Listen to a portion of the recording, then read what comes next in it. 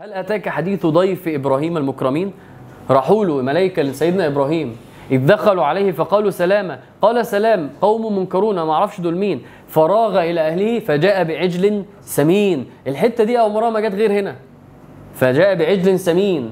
بس هي هي بالظبط اللي فوق وفي أموالهم حق. اللي بيعبد ربنا بيخافش على رزقه. فتلاقيه بيتصدق وتلاقيه زي سيدنا إبراهيم بيعمل إيه؟ بيكرم ضيفه. عجل سمين. ربنا هنا كان يريد إنه يوريك إنه جاب عجل سمين عشان يقول لك اللي بيعبدني بي- بيتعامل مع الفلوس وال- والأرزاق كده عادي. كده كده رزقه بيجي وما بيخافش. فتلاقيه إيده إيه؟ برحة كده. فجاء بعجل سمين فقربه إليهم. قال لا تأكلون لا هم ما بياكلوش ما هو ملائكة. فأوجس منهم خيفة فخاف. ده طب هم ناويين شر ولا إيه؟ قالوا لا تخف. وبشروه بغلام عليم.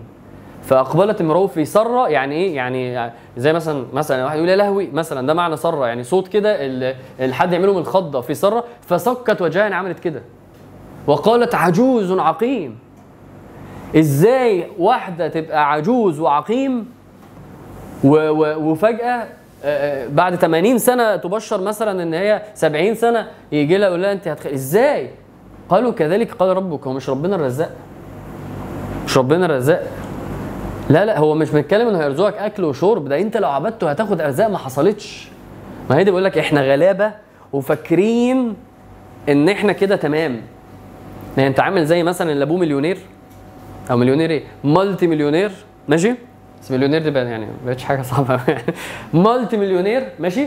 وهو بياخد مثلا مثلا مصروف في الأسبوع 1000 جنيه. 1000 جنيه ده حلو ولا وحش يا رجالة؟ ده حلو جدا. بس هو أبوه multi مليونير. يا باشا أنت المفروض تديني 10000 جنيه. يعني مثلا أبوه multi مليونير ودخل عليه بعربية زيرو زيرو. ياريس. أو أو فيرنا زيرو.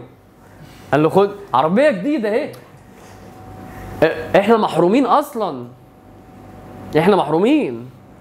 أنت أنت أنت لو كل ما أسأل نفسي أنت مبسوط؟ لو كل ما ترد على نفسك تقول لأ. أنت أنت محروم. أنت ولا مرة مبسوط؟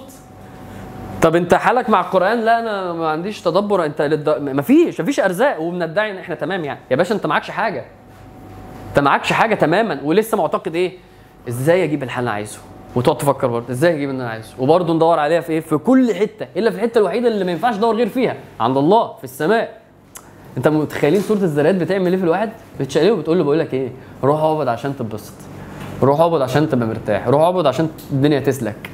روح عشان روح عشان الآخرة روح عشان الدين ودنيا روح عشان كل حاجة. الله هو الوحيد اللي رزاق سورة الذريات بتصلح لك ده. فقالوا إيه؟ كذلك هو كده كذلك. قال هو ربنا قال كده فخلاص. إنه هو إيه؟ الحكيم العليم. هو هيرزق بحكمة وعلمه بحكمة وعلم إمتى يرزقك؟ إزاي؟ بس العادي إيه؟ العادي. العادي إنه يرزقك أي حاجة في أي وقت.